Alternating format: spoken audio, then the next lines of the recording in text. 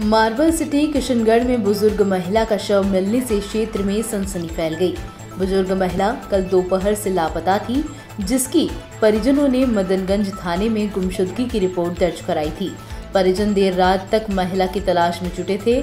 आज मदनगंज थाना के चेनपुरिया इंदिरा नगर स्थित अंबेडकर भवन के बाथरूम में बुज़ुर्ग महिला का शव मिला।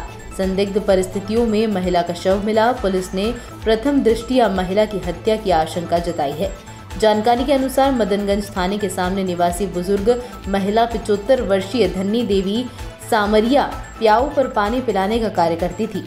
कल दोपहर से बुज़ुर्ग महिला घर नहीं लौटी।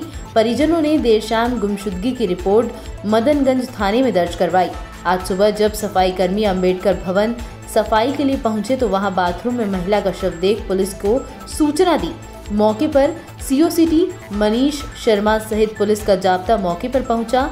मामले की गंभीरता को देखते हुए मौके पर एफएसएल की टीम सहित डॉग स्क्वाड को भी बुलाया गया। पुलिस ने क्राइम स्पॉट को कब्जे में लेकर मामले की जाँच की। सूत्रों से मिली जानकारी के अनुसार पुलिस ने एक संदिग्ध व्यक्ति को भी हिरासत में लिया है और साइबर सेल की टीम क्षेत्र के कैमरे भी खंगाल रही है। महिला के शरीर पर एक भी आभूषण नहीं मिला। इसके चलते लूट के इरादे से महिला की हत्या की आशंका भी जताई जा रही है। मौके पर बड़ी संख्या में पुलिस बल भी तैनात रहा।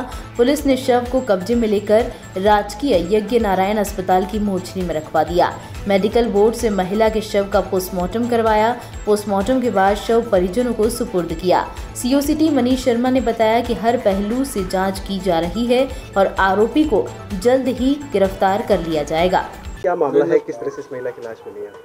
हम्म, कल हमें सूचना मिली थी कि एक महिला बुज़ुर्ग महिला है वो लापता है। तो उसकी तलाश कर रहे थे हम। तलाश में एक ये जो अंबेडकर भवन है यहाँ पे उसकी शव मिला है। तो इस संदर्भ में आगे जाँच कर रहे हैं। सर प्रथम दृष्टि क्या माना जा रहा है? प्रथम दृष्टि हम अभी इसका पोस्टमार्टम कराएँगे और मेडिकल चिकित्सकों से राय लेंगे।